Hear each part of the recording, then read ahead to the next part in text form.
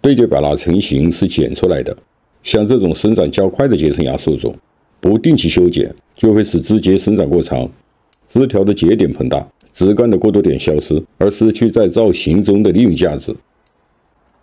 怎样选择时机去修剪？正处在重合阶段和枝干增粗培养阶段的树桩，最好忍住不做修剪，也不要去攀杂。过早的剪枝和攀杂会抑制树桩的增粗。像这一盆对接白蜡，造型的骨架基本构成不仅可以剪，而且要勤修剪，使树桩逐步成型。早春在对接白蜡发芽前，要依据树桩的造型方向进行重剪，进一步调整树桩骨架的构成。修剪是剪去多余的部分，避免局部枝条增出过快，达到控养的目的。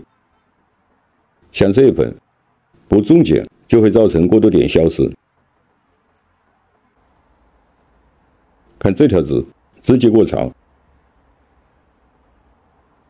不要看到枝粗就舍不得剪，宁缺毋滥是盆景造型培育中的基本要求。出枝角度不理想，要把它剪掉重来，保留芽点，重新培育出枝。生长旺盛的枝会分配到大量的养分。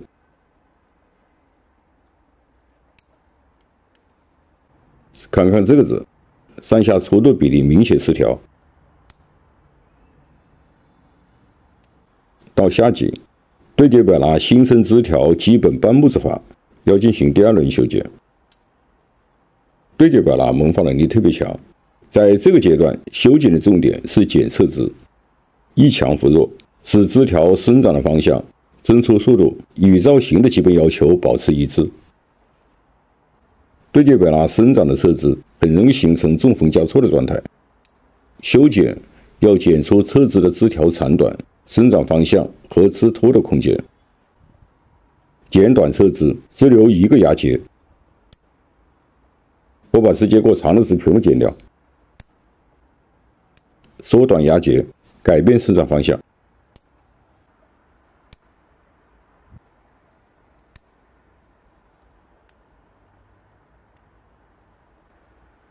像这种枝，去枝留完后，稍作调整，就可以形成自然弯曲变化的枝条。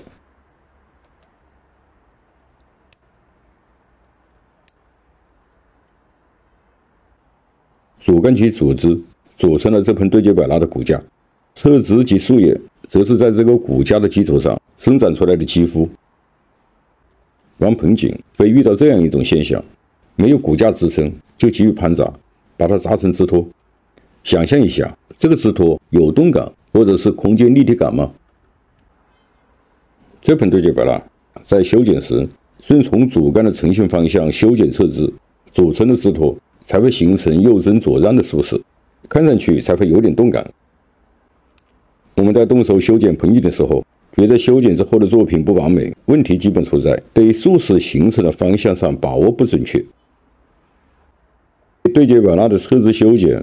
剪出方向，还要剪出空间。这些生长交错的枝条会拥堵枝托的空间，枝条杂乱会失去枝托的层次感。对这些车枝要进行疏剪。疏剪之后，从主枝到侧枝组成一个有造型的单元，这就是我们常说的单枝成景。来看看它的每一个树枝，主枝及侧枝的脉络清晰，有了空间上的立体感，盆景看上去才会有深远。到了秋季，对接百蜡会有一个短暂的生长旺盛期。对接百蜡的枝干增粗速度会明显加快，已经基本形成骨架的树桩，十至十一月份要进行第三轮修剪。秋季修剪主要是疏枝。对接百蜡进入休眠状态比较早，到秋末基本不再发出新芽。枝条完全木质化后，对接百蜡会吸收更多的养分，枝条增粗会加快。